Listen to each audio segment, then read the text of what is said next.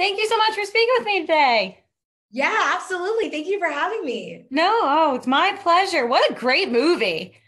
Uh, I'm obsessed. Being a part of Crush is an honor, honestly. Like this movie is brilliant. It really is it's it's so you know obviously like on the surface you everyone's gonna say oh it's you know just another high school rom-com but it's not it's com- like it is so much more than that and i loved literally every second of it um and let's kind of jump in and talk about how you got drawn to this movie and your character uh, well, the story is I was actually on set with my mom. Um, we were doing a photo shoot for uh, my skincare line, mm-hmm. and we got the email, and it was like the breakdown of the character was like Stacy Clark.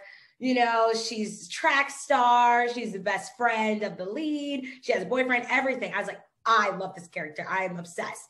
And it said open to all ethnicities, and the name was Stacy Clark. So I was like the odds sound a little bit against me now. I can't lie to you, but I'm gonna do it. I'm gonna go for it. I don't care. I'm gonna I'm gonna be Stacy. Yeah. And um, months go by, like a month and a half goes by. I don't hear anything. I'm like, I didn't get that.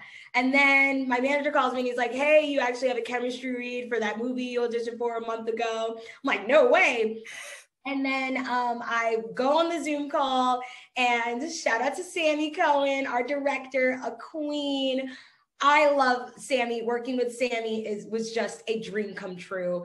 Everybody a part of this film is amazing. Kirsten, Casey, the writers, Will from American High, everybody is brilliant. And Sammy, uh, our director, was on the Zoom call with Sammy and Tyler Alvarez, who already booked the role for Dylan, oh. which is already so intimidating walking into a chemistry read on Zoom with somebody that already has the role. And it's like yeah. kind of you. So it's like, ooh, okay. I just went straight into it. We did the scenes, ended the call. I didn't think anything of it. The next day, this is funny. I was filming a TikTok and my manager kept calling me and interrupting my TikTok. So I kept crying. I was like, why is my manager calling me? This is so weird. And they texted me, please call me. It's, it's, it's important. I was like, okay, now I'm scared. And my manager calls me, my agents are on the phone and they're like talking all slow and they're like, So you're Stacy Clark. And I'm like, What? No way. And they're like, You're leaving in a week and a half. Oh God. New York. I'm like, What? So my life, it was on a Friday that I got the call too. My life fully flipped and I screamed with joy because this role was just calling my name. And I love how this movie, there are no stereotypes to this movie whatsoever. And for me to be a black woman playing a character named Stacy Clark, who's like a rich, popular girl, it can be possible. You can be a black girl and play that. And I just love breaking down those barriers. And then, of course, to also be a part of such a brilliant film that's so inclusive and diverse. And we talk about, you know, sexuality in such a light way. And um, I just feel like it's such an inspiring coming of age rom com with a lot of spice. A lot. Yes. well, to kind of talk about the the sexuality is there's nothing. It's not outlandish. It is not in your face, or you know they don't they basically the writers did in such a beautiful job that as you're watching it at no point do you ever feel like they're pushing it on you they're yeah. trying to you know oh we're just throwing this in because you know we need to make it more sexual. It's these are a bunch of high schoolers you know going on a track trip you know spending going to parties. Like this is stuff that they do and it's so relatable. Um but what i also found to be really great is your character Stacy she's not only the popular girl, but it's a spin on the popular girl. So typically you would find it was kind of the same with the, Isabella's character is the popular girls tend to be the mean girls yes. in the movies.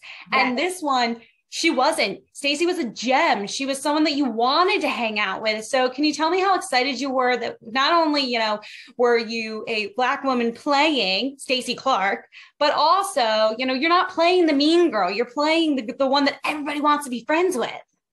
I think it made me even happier to accept the role, honestly, because there's so many different layers to each character. And I feel like so many people are going to be really able to relate to every single one of these characters in this film. And I, that's what I love about Stacy the most is she is such a supportive friend. And that's why I really was drawn to this character. Not that I was able to relate to all the partying and all of that stuff, because well, let me tell you one thing, when I was Stacy's age, have my first kiss yet. Like I was not, I was like homeschooled. I didn't get my first kiss till I was almost 18. So we were very different in that way. But when it comes to supporting your friends and being there for them and being like a ride or die, that resonates with me so much. I'm such a loyal person. And you know, once I trust you, I really want to give you my all. And that's really how Stacy is, not only with Dylan, her boyfriend on the movie, mm-hmm. but also with Paige and Gabriella too in the film. Um, and honestly, all the characters. I mean, Stacy really just wants what's best for everybody. And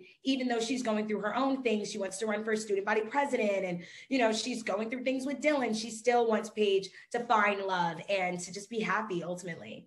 But I think the other thing is, is the relationship that was showcased between Stacy and Dylan was so healthy. You know, at no point was I watching it being like these sort of toxic relationship. Yeah. You're promoting like, are you really like I was, you know, expecting like with the competition and all that, they're like to be this back and forth banter, and there wasn't.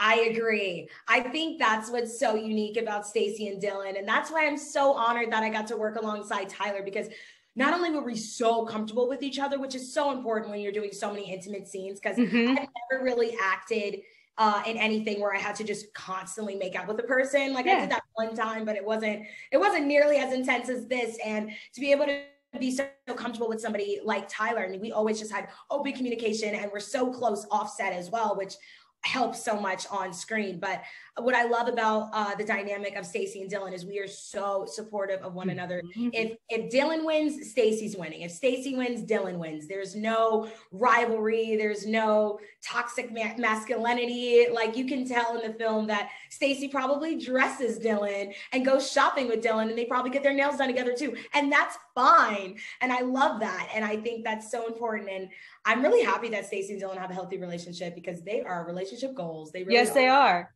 yeah, but they also, I think you touched upon it too, is not only do you do you kind of see like the, the more feminine side, but also the masculine side too. They're very supportive of each other when it comes to athletics. And, you know, for a long for the longest time, rom-coms have made, oh, the athlete is the boy, student body president is the girl. And they're both, both of them you know so you get to see both sides of it. And you two i i don't know how you guys were able to go from a zoom screen test to the physical but that that whole thing played out amazing. The chemistry between you guys the whole chemistry between the entire cast was great but when you started to set out the couples that was just phenomenal. So can you tell me a little bit about how you guys were able to take it from the zoom screen test to an actual in person we've got to make this work Honestly, once I got on the Zoom call, I mean, there was a, a scene where we kind of have to go back and forth and you know, he started like growling at me and I just growled right back. And I saw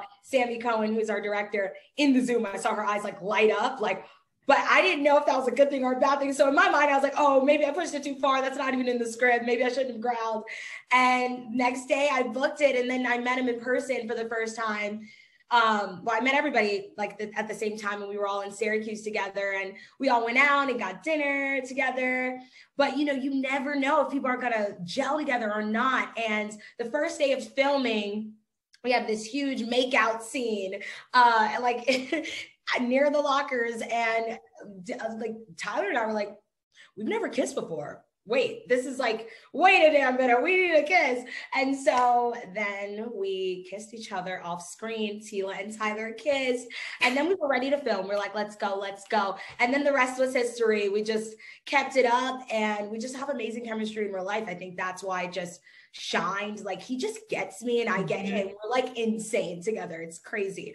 Um, and then it just got to a point where we had to kiss so much on set we would just say good morning to each other as Teala and Tyler and just kiss. That's just how it was. Cause it was just like, well, we're gonna have to kiss in these 10 scenes. So we might as well just kiss good morning too.